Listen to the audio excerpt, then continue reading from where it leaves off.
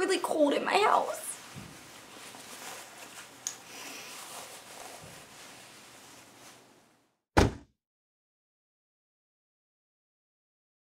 Hey guys, it's Libby, and today I'm going to be doing TV and movie character Halloween costumes. I was originally going to do like five more than I have in this video, but I ran out of time because I'm in a soccer tournament. I had a lot of fun putting these costumes together and making them, and I thought they turned out pretty decent. Yeah, that's like pretty much all I have for this intro, so let's get started. Got a secret, can you keep it? Swear this one you'll save. Better lock it in your To be A from Pretty Little Liars, all you pretty much need to do is wear all black. I decided to wear black leggings, a black hoodie, and my black Converse. if one of them is dead.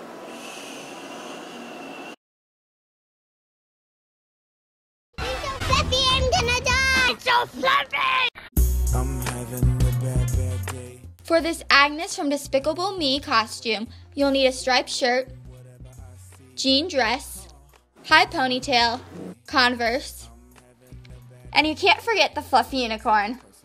That's okay. Watch, this is so fun to see.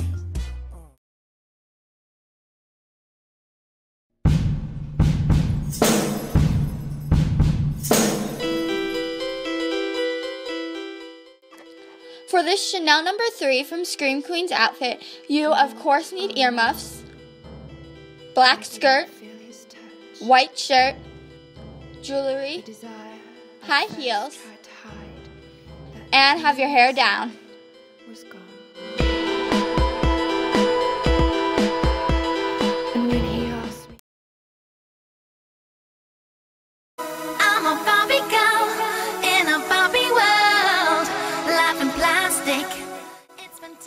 For this Barbie costume, you'll need pink sunglasses, girly shoes, black skirt,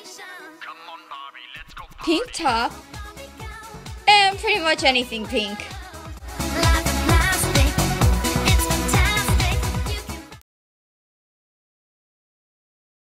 Can Neither one prepared Beauty and the Beast.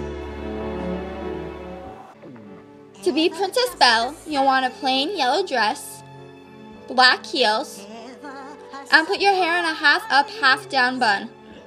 Tie the bun off with a yellow ribbon. Ever just as sure as the sun. Last month I helped her with the car payment. Young and we alive.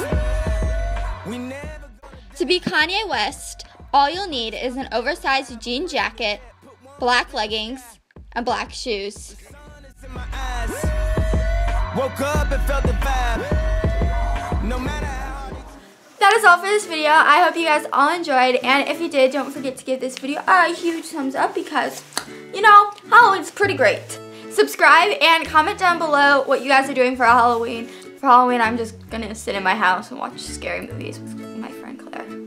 So yeah, that's like all I got for this video, so bye!